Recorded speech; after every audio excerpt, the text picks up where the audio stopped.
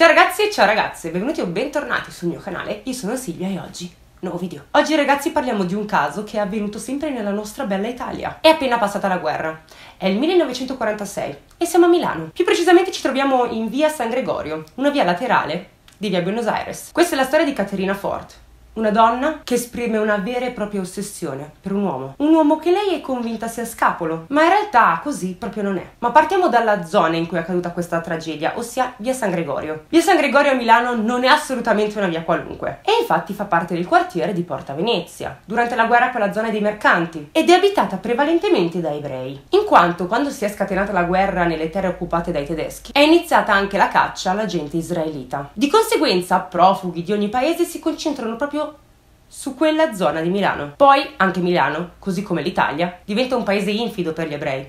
Qualcuno riesce a fuggire in Svizzera ed il quartiere di Milano si svuota di colpo. Poi ecco che si ripopola nuovamente da persone provenienti dal meridione. Gente che fugge dalla guerra, dalla miseria e dalla fame per trovare un po' di spazio ed un'illusione di sicurezza nella grande metropoli. Milano. Dovete sapere che a quel tempo c'è carenza di qualsiasi cosa, anche di tessuti. Così ecco che ci si arrangia come si può. Tutte le persone che dal sud si sono spostate al nord impiantano aziende o negozi. I vari appartamenti sfitti diventano dei magazzini ed inevitabilmente la zona di San Gregorio diventa un centro attivo del mercato nero. I commerci non sono sempre chiari in quanto ci sono un sacco di persone che vivono alla giornata, improvvisando ovviamente per riuscire a sopravvivere. Arriva il 1945, la seconda guerra mondiale termina, ma questo tipo di commercio non chiaro continua ad esistere. Però c'è da dire che molti hanno dovuto fare i conti con la realtà. I tempi della baraonda stanno giungendo al termine e la polizia torna ad avere tutti gli uomini per fronteggiare le persone irregolari. Di conseguenza il contrabbando non può più essere fatto alla luce del sole. Però c'è chi nel pieno della guerra ha voluto rischiare, impiantando un'attività e pensando più al futuro che al presente. Ed ecco che via San Gregorio inizia a mutare perché i cosiddetti balordi, quelli che facevano i furbetti, diciamo così, si sono tutti quanti dileguati nel nulla. Via San Gregorio così è diventata una strada molto trafficata, è piena di empori, stoffe e manufatti. Nei negozi è possibile vedere delle belle commesse con dei grossi brillanti sulle dita ed è proprio qui che purtroppo si consuma la tragedia, perché questo diventa il primo crimine efferato dell'imminente dopoguerra. Arriviamo quindi a quel tragico giorno è la mattina del 30 novembre 1946. È venerdì, ci troviamo a Milano e la luce quel giorno è grigia, opaca. Piove e fa pure freddo a Milano quel venerdì. È mattina e nelle case le luci accese dagli operai che si sono svegliati presto per andare a lavoro si spengono quasi tutte contemporaneamente.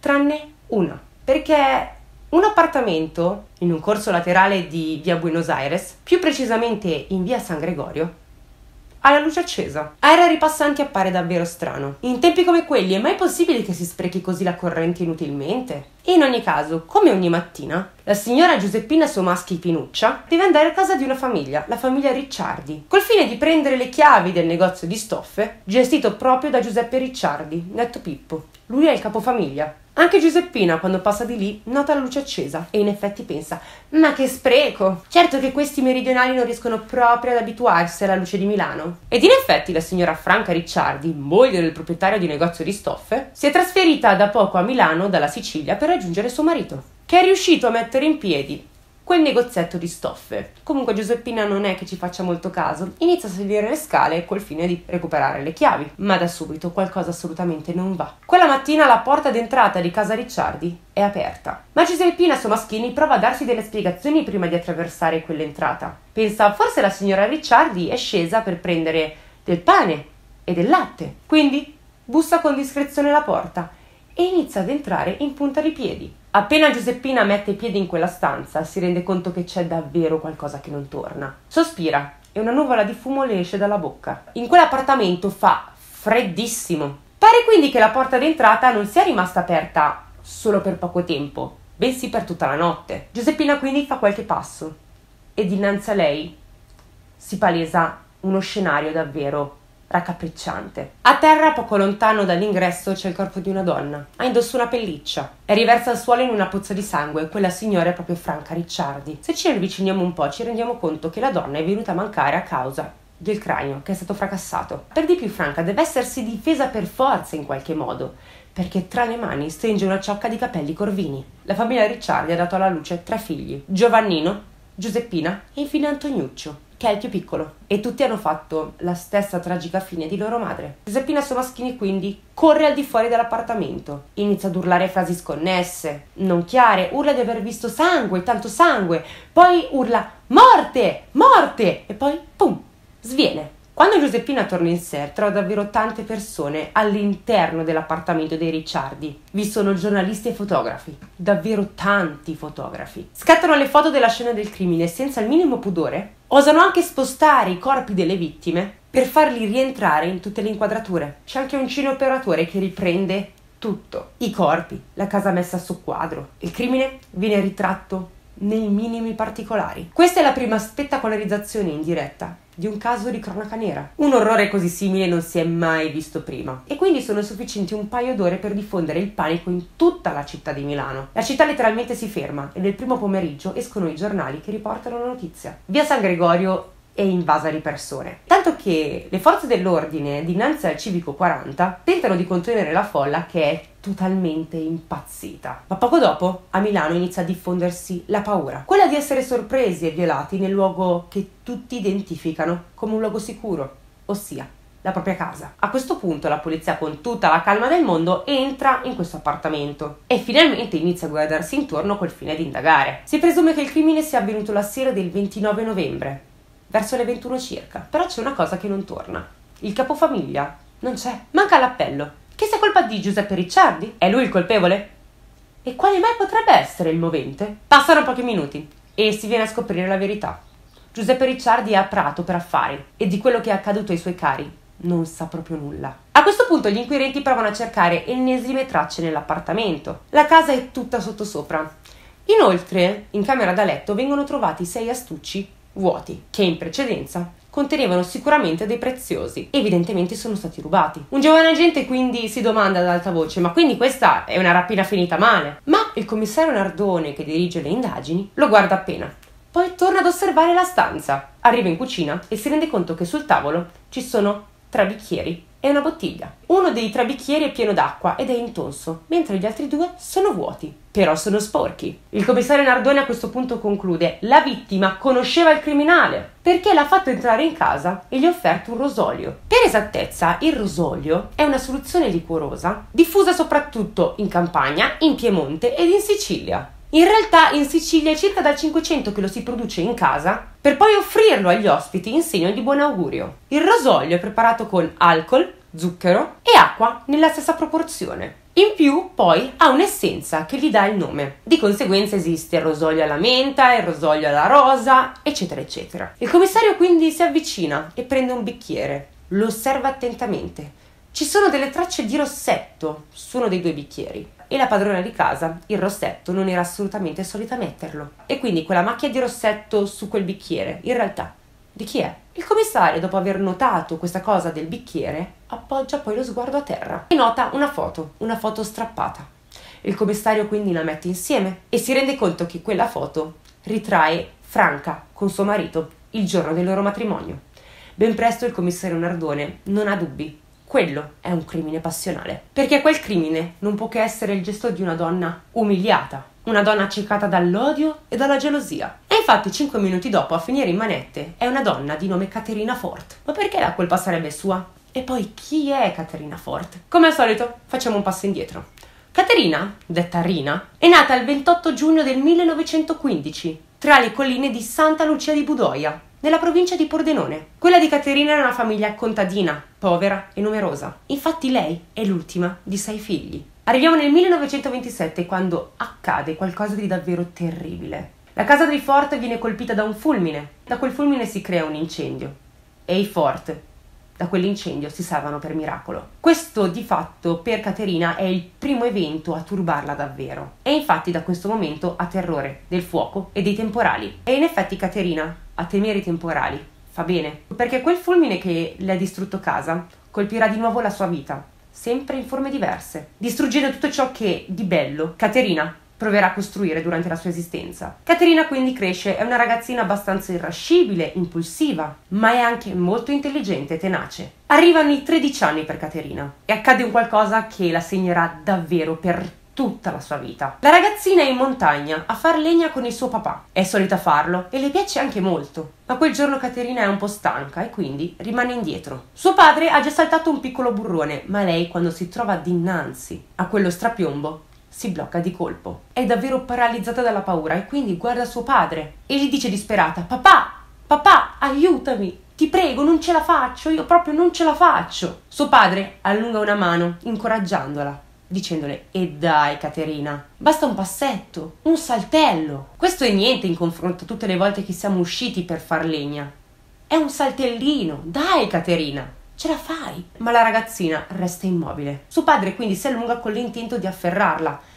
Ma Caterina, di scatto, si fa indietro. È un gesto totalmente istintivo perché Caterina di quello strapiombo ha davvero davvero paura. E così suo papà perde l'equilibrio. Con un movimento cerca di tenersi su una roccia per non cadere, ma purtroppo non ci riesce e cade nel vuoto. La dipartita di suo padre per Caterina è un trauma così tanto grande che crescendo inizia ad avere delle crisi dolorose. Ha spesso mal di pancia e quel dolore si estende fino alle ovarie. Questi dolori purtroppo sfociano in un terribile problema perché Caterina, raggiunta la pubertà, Inizia a avere delle disfunzioni ovariche così tanto importanti che l'utero termina di formarsi. Questa è una malformazione detta ipogenitalismo. L'utero quindi smette di svilupparsi e Caterina è colpita da un'altra disgrazia. Non può essere madre non può mettere al mondo i figli, in quanto è sterile. Ma arriva la primavera del 1931 e Caterina arriva a Milano. Vuole assolutamente lasciarsi alle spalle la sua terra, la sua vecchia vita, per poter rincominciare da capo. Inizia quindi a fare la donna addetta ai lavori domestici in una famiglia altolocata e ben presto conosce un ragazzo, innamorandosi di lui. E quando il ragazzo le chiede la mano, Caterina non può che esclamare un sì,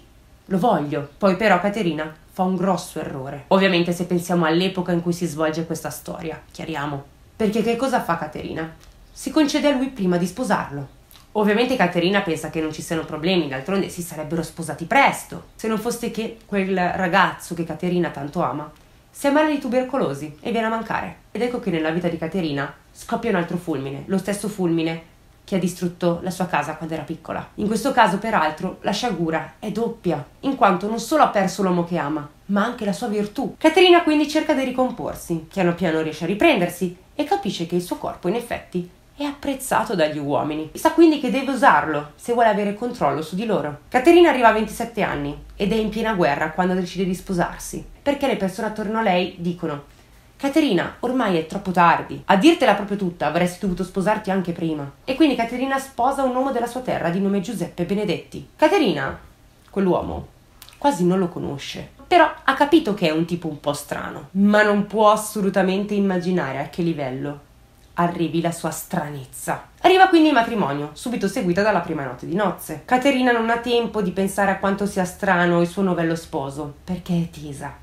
è tesa da morire. Non sa come Giuseppe potrebbe prendere la sorpresa che da lì a poco avrebbe scoperto, perché Caterina non ha detto a nessuno di aver perso la sua virtù. Ma in realtà a rimanere basita quella notte è proprio Caterina. Infatti quando arriva il momento c'è solo un abajur acceso e Giuseppe, preso da uno strano raptus, la lega al letto, si spoglia per poi indossare i suoi indumenti. Quindi indossa reggiseno, mutande, calze, giarrettiere e infine la gonna. Vestito in quel modo con gli occhi da fuori di testa totale, inizia ad autoflagellarsi.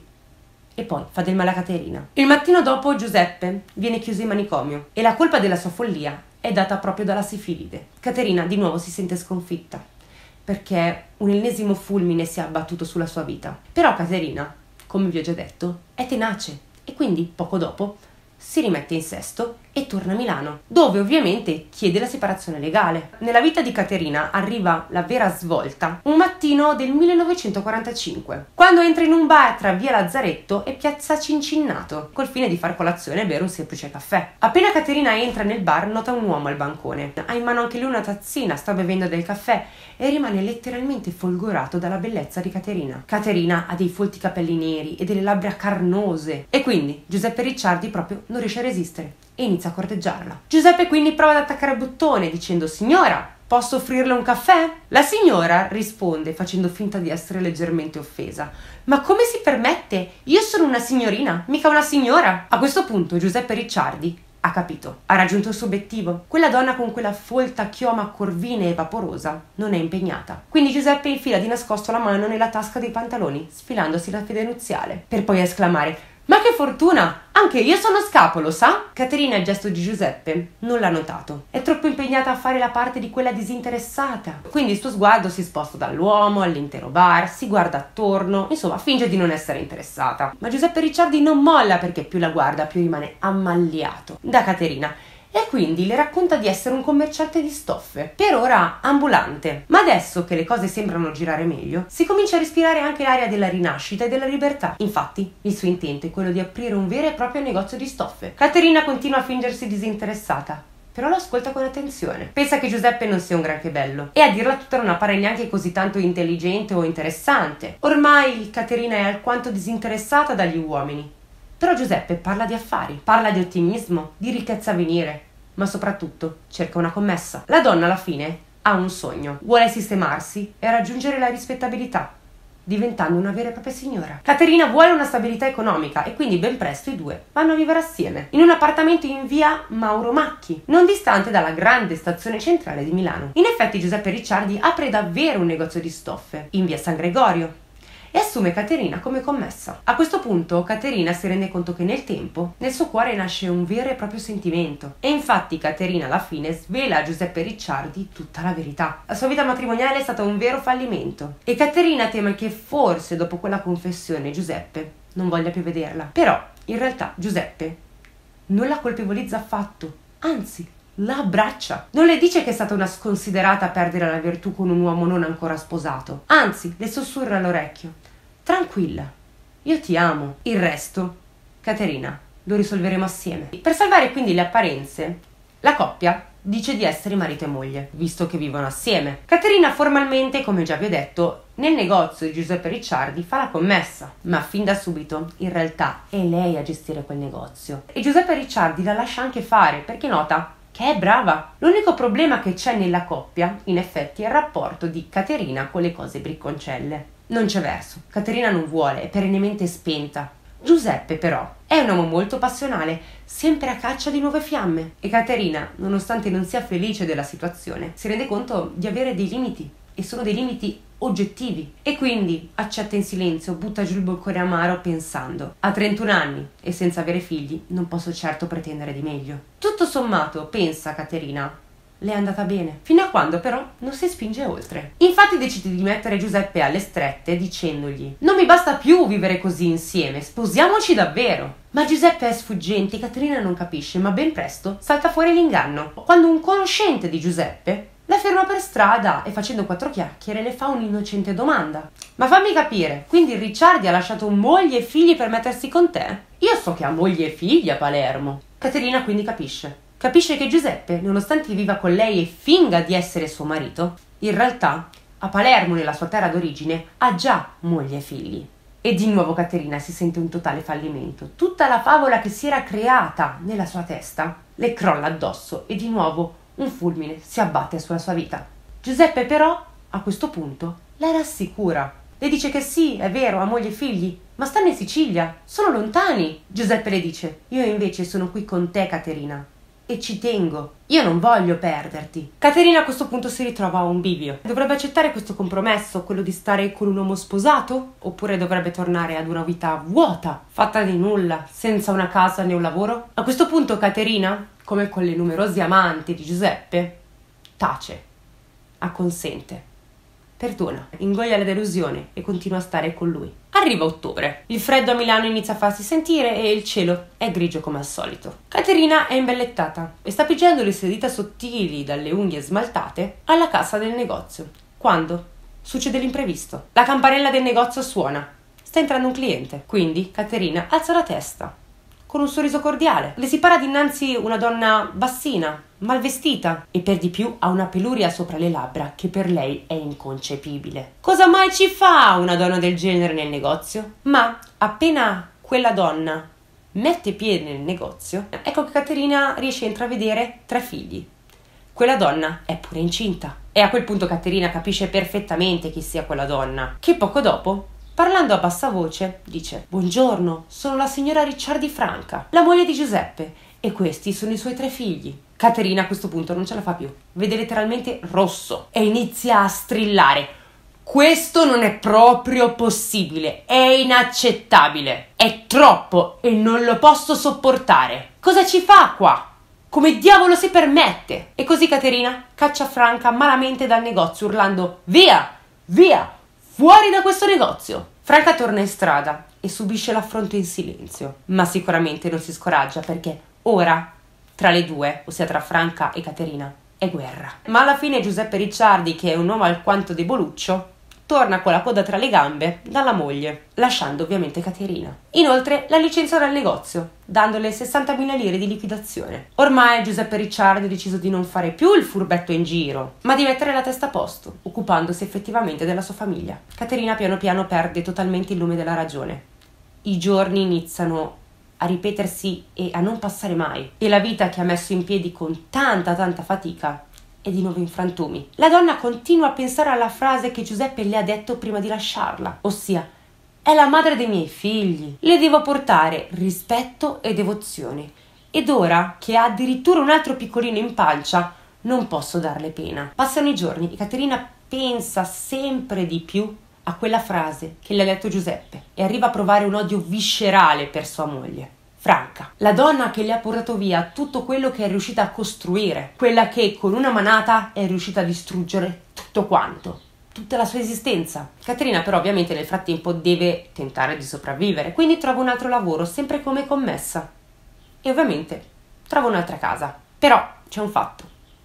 Caterina purtroppo nel quartiere diventa oggetto di cattive chiacchiere e di pettegolezzi. Caterina cammina per strada e sente la gente bisbigliare. Sì, sì, Altro che la signora Ricciardi. Quella lì era solo l'amante. E hai visto la moglie come l'ha rimessa al suo posto? Per Caterina vivere quel tipo di vita a un certo punto diventa una vera vergogna. Si sente svilita, umiliata e la sua rabbia continua a crescere a dismisura. Fino a quando non arriviamo alla sera del 29 novembre del 1946. Caterina ha finito di lavorare alle 18 e ha chiuso la pasticceria in cui ora fa la commessa. E in quel momento le strade sono effettivamente deserte, non c'è nessuno in giro, quindi non sente alcun vociare maligno attorno a sé. Però continua a pensare a Giuseppe Franca. Non riesce proprio a toglierseli dalla testa. Pensa alla sua vita, a tutte le vicissitudini che ha dovuto sopportare, superare e si chiede come sia arrivata a vivere una vita così tanto solitaria. Poi biasima la sua bellezza. Quella bellezza che ha pensato fin da subito fosse un'arma vincente. Sta sfiorendo ogni giorno che passa. È vero, Caterina non è più bella come un tempo, però si rende conto che la sua bellezza è anche stata la sua croce e camminando sopra pensiero la donna si rende conto di essere finita proprio sotto casa dei Ricciardi. Alza la testa e nota la luce accesa della casa al Civico 40, la casa in cui Giuseppe si è sistemato con la sua famiglia, proprio sopra il negozio di stoffe. Caterina inizia a pensare che la sua vita sia davvero inutile. Si sente da buttare via, non c'è più nulla che la rende felice e quindi, forse, pensa la donna, l'unica cosa da fare è sparire tra la nebbia di Milano. Ma non per tornare al suo paese. Caterina pensa proprio di farla finita, però come al solito riemerge la tenacia della donna, che al posto di lasciarsi andare e farla finita, decide di fare una cosa. Entra nel palazzo in cui vive la famiglia Ricciardi. Sa che Giuseppe è via per lavoro e quindi in casa c'è solo Franca, sua moglie, con i figli. E quindi Caterina entra in quell'appartamento, sale le scale e poi suona. Pensa di arrivare a un compromesso, un qualcosa. Però quando Franca le apre la porta, probabilmente il primo istinto è quello di sbattergliela in faccia. Però Caterina scoppia a piangere, le chiede di parlare, le dice che quella sarebbe stata l'ultima volta che l'avrebbe vista in giro. E Franca, che sicuramente è una donna dura ma ben educata, fa entrare Caterina in casa la fa accomodare in cucina e le offre un bicchiere di rosolio. E Caterina quindi inizia a parlare. Inizia a parlare con Franca, le spiega l'enorme amore che prova per Giuseppe, le racconta tutta la verità, le dice che Giuseppe, mentre stava con lei, ha fatto più volte il furbetto con altre donne. Le racconta anche che inizialmente Giuseppe, suo marito, le aveva detto di essere scapolo, mica sposato. Quindi Caterina dice a Franca che non aveva idea della sua esistenza e quindi Caterina dice a Franca che non è sua intenzione assolutamente rovinare in qualche modo la sua famiglia, ma il suo cuore è letteralmente in frantumi. Però ragazzi qua arriva un fatto. Non possiamo sapere se Caterina ha chiesto a Franca un compromesso, lo stesso compromesso che Giuseppe ha chiesto a Caterina quando ha scoperto dell'esistenza di sua moglie. Ma di una cosa possiamo essere certi. La discussione tra Franca e Caterina non si conclude bene. Iniziano quindi a urlare parole pesanti, insulti. Le due donne si prendono per i capelli, iniziano a spingersi e Franca, resa goffa dal pancione, cade a terra. Caterina a quel punto trova una spranga da qualche parte e inizia a colpire. Colpisce, colpisce e colpisce. Colpisce tutte le persone presenti in quella casa. Appena conclude il suo macabro piano, scappa nel sottoscala. Però pare che nessuno abbia notato il baccano. Infatti i vicini continuano le loro conversazioni come se nulla fosse. Caterina quindi si ridesta. Deve assolutamente trovare un modo per passarla liscia. Torna quindi a casa Ricciardi, mette tutto quanto in disordine e ruba dei gioielli proprio per simulare una rapina finita male. Poi si rende conto che nonostante abbia colpito tutti, in quella casa nessuno è ancora passato a miglior vita. Caterina quindi decide di soffocare le varie vittime, infilando loro in gola degli stracci usati al tempo come assorbenti. Caterina Forte ha colpito con la furia di una belva e poi, come se nulla fosse successo, torna a casa sua. Una volta arrivata a casa pensa che dovrebbe decisamente cucinarsi qualcosa, perché quel crimine che ha compiuto non le ha di certo guastato l'appetito. Arriva quindi il 30 novembre del 1946. Tutti i milanesi sono in strada per commentare quell'atroce crimine. Tutti si chiedono chi possa mai essere il colpevole. E in effetti Caterina Fort è nella pasticceria dove lavora. Sta servendo dei clienti e sorride cordiale. Gli agenti di polizia di conseguenza entrano nel negozio, la raggiungono e le fanno qualche domanda. E in effetti Caterina pare essere a conoscenza del crimine accaduto alla famiglia del suo ex datore di lavoro. Però c'è un fatto. Sembra proprio che non gliene importi un fico secco. Gli agenti, che già non la vedono di buon occhio, decidono quindi di arrestarla. Appena Caterina è in manette, cambia totalmente. Diventa improvvisamente fredda, muta e impassibile. Una volta arrivata in commissariato, la donna nega tutto. Continua a rispondere in modo docile. Io non mi sono mai mossa da casa. Deve credermi. Stavo ascoltando la radio quella sera. E poi ripete fino allo sfinimento che il rapporto che ha avuto con Giuseppe Ricciardi è stato solo un rapporto lavorativo. Arriva il giorno dopo, è il primo dicembre quando Giuseppe Ricciardi torna da Prato, trovando casa sua transennata e una folla immensa davanti al suo portone. Appena apprende la notizia, uno dei suoi amici siciliani gli dice: È stata Rina, quella strega. Giuseppe Ricciardi quindi va alla stazione di polizia e appena vede Rina, piuttosto che rimproverarla, piuttosto che insultarla, piuttosto che dirle ma che diavolo hai fatto, l'abbraccia, le sussurra qualcosa all'orecchio come un grazie e poi la bacia. Quello è l'ultimo bacio che i due si scambieranno. Intanto Dino Buzzati, che è uno scrittore che io amo da morire, e peraltro se non l'avete mai letto, io vi consiglio assolutamente di leggere la raccolta di racconti La boutique del mistero. A mio parere quella raccolta di racconti di Dino Buzzati è decisamente la raccolta di racconti più bella che io abbia mai letto. In ogni caso, Buzzati scrive sul Corriere della Sera: Al di là della più sfrenata perversità, restava pur sempre un largo margine di sangue che nessun odio poteva giustificare. La misura stessa dell'uomo ne risulta alterata, quale noi la conosciamo da secoli, pur con tutte le sue possibili abiezioni. Di qui lo spavento. Qualcun altro, diverso da noi, era necessariamente intervenuto l'altra sera. Un personaggio delle tenebre, vogliamo dire, proprio come in certe storie antiche il medesimo forse che da troppo tempo va infestando le nostre contrade. Un giorno o l'altro chi può escludere che si affacci anche alla nostra porta? Non si può mai giurare, egli gira invisibile, covando il male, e non sarà mai stanco. Bisogna scovarlo. Occorre togliergli l'aria. Intanto passa il tempo e Caterina si convince se è giusto parlare. Non può essere vista solo lei come la cattiva, il mostro della situazione. No, proprio non ci sta. Peccato che le versioni dei fatti che fornisce Caterina sono ben otto, sono diverse e ogni storia è arricchita da un sacco di particolari. Troppi particolari, che tutto sommato risultano anche bizzarri. Caterina esagera, si fa prendere la mano e ben presto gli inquirenti capiscono che sta mentendo alla grande. Ed è proprio in questo modo che Caterina, terminata la guerra con Franca, ossia la moglie di Giuseppe, si ritrova in guerra poi con Giuseppe, il suo ex amante. Perché tra le tante versioni che ha dato, la donna sostiene che Giuseppe in realtà era a conoscenza di tutti i fatti, anzi, erano proprio d'accordo. Lui infatti è partito per Prato proprio col fine di farle commettere quel crimine, che lui, debole com'è, non ha mai avuto il coraggio di compiere. Giuseppe, giunto a conoscenza delle confessioni di Caterina, ovviamente le volta alle spalle, si arrabbia, si arrabbia da morire e anche lui inizia a puntare il dito verso Caterina, dicendo io non le ho chiesto di fare proprio niente, ha fatto tutto da sola, non le è bastato far sparire tutta la mia famiglia, ora mente pure sul mio conto. Ebbene, Giuseppe ha una gran ragione.